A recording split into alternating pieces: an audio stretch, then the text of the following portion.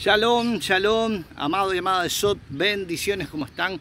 Bueno, hoy voy a hablar del ticún, voy a hablar de exactamente corrección y procesos. Eh, sé que a algunos no les va a gustar, a algunos les va a resultar pesado, pero es la pura realidad, la pura realidad de hoy en día, de lo que estamos enfrentando cada uno de nosotros que muchas veces les llamamos luchas y pruebas. Y esta definición está bien, pero tenemos que entender que las luchas no es porque venga de afuera, sino que principalmente viene dentro de cada uno de nosotros, por nosotros mismos. ¿Por qué? Porque tenemos algo que corregir, algo que sanar o algo que cambiar. Y eso es lo que hoy en día tenemos que entender y subir a nuevos niveles de conciencia para aceptar la corrección y aceptar el proceso.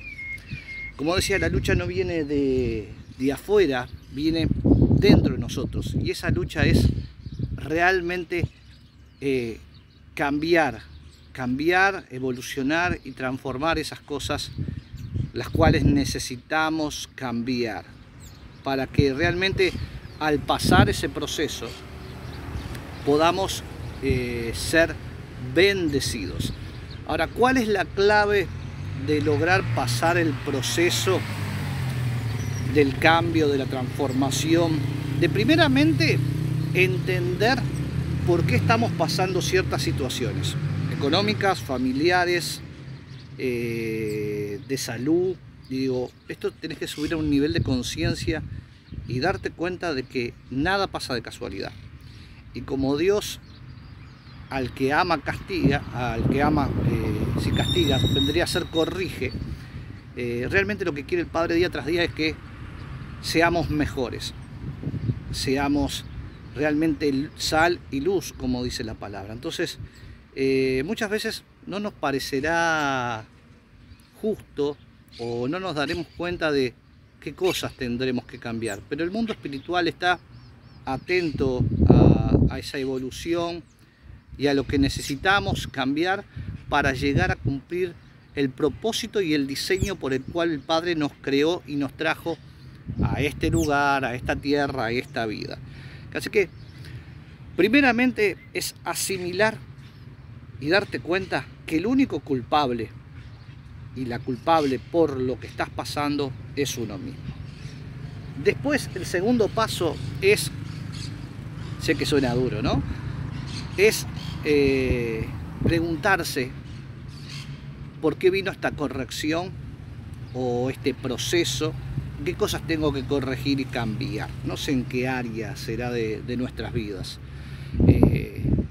Pero hay que averiguar, hay que orar, hay que preguntar al Padre, eh, pedir esa revelación. O hay que mirarse al espejo directamente y decir, bueno, a ver, eh, cómo soy con el carácter o en esta área, o soy negativo, negativa, no sé. Eh, en cada área o cada persona se conoce y sabe realmente qué cosas tendría que cambiar. Y si no, yo sé que el Espíritu Santo de Dios te va a revelar. Ahora, lo bueno de esto es que cuando damos estos dos primeros pasos, lo que va a venir es una transformación. Tenemos esa lucha personal del cambio eh, en lo que, lo que hayamos o habramos descubrido que tenemos que cambiar, ¿no? Sé que es un proceso y a veces cosas, hay cosas que cuestan. Hay gente que viene a nuestra vida directamente eh, solamente o nuestros enemigos son ya preparados desde la, desde la eternidad también. Eh, Dios los prepara para, para confrontarnos en el camino y mismo también pasar a ver eh, ese proceso de no enojarnos, eh, no frustrarnos, eh, si nos dicen cosas negativas, dejarlo en manos de Dios y no, y no reaccionar mal. Entonces, todo ha sido creado para algo y toda situación también para enseñarnos algo. Entonces quiero que estés atento y atenta a lo que puedes estar pasando en este momento y en este tiempo.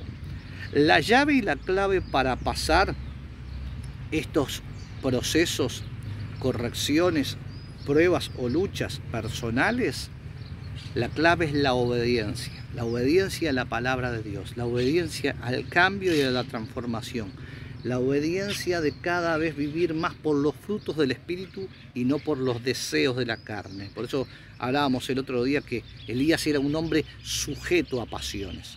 Y las pasiones, eh, eh, podés mirar ese video que te vas a dar cuenta bien de qué hablamos. Pero si querés darte cuenta, vuelvo a decir el pasaje que dimos en referencia, cuáles son las pasiones eh, negativas y las positivas. Eh, que está en Gálatas 5, 16 al 22. Ahora, al lograr pasar toda esa corrección ese proceso, al lograr obedecer realmente lo que viene es tu bendición. ¿Por qué? Porque el mundo espiritual logra ver que entendiste el proceso, que cambiaste, que lo asimilaste.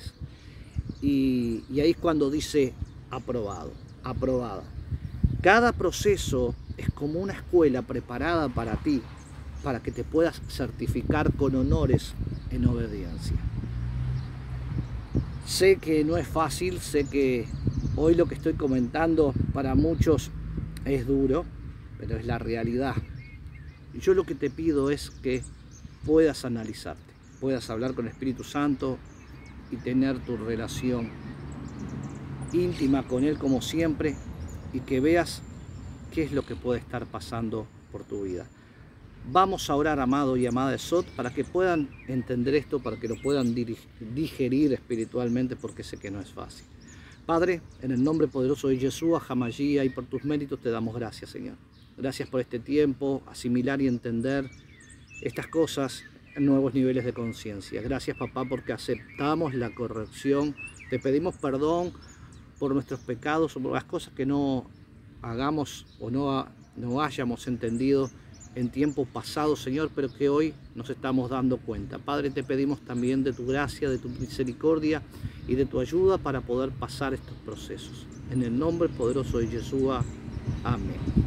Una clave antes de irme, una clave más para pasar estos procesos, porque sé que hay veces procesos de dolor y muy fuerte que cuestan mucho eh, superar.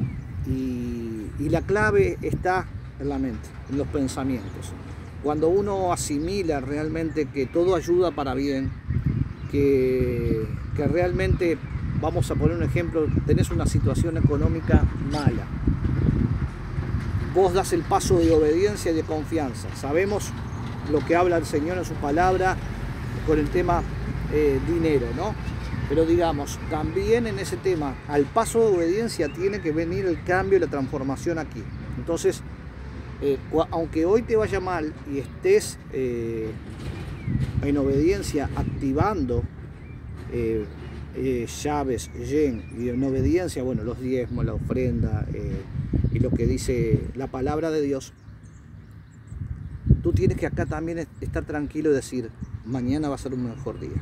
Tienes que poner de ti también para, para eso que, pueda, que pueda suceder, ¿no? Si te falta trabajo, salir a buscar trabajo si tenés un negocio, esforzate para que puedas vender más en ideas, en movimiento. Entonces, pero siempre positivo. Voy a salir de esta. Si hoy no funcionó, mañana Dios abrirá una puerta. Y siempre en obediencia y, y constante. Amén. Amado y amada de Sot, espero que te pueda hacer de bendición como lo está haciendo para mi vida. Les mando un abrazo grande, yalón y bendiciones para todos.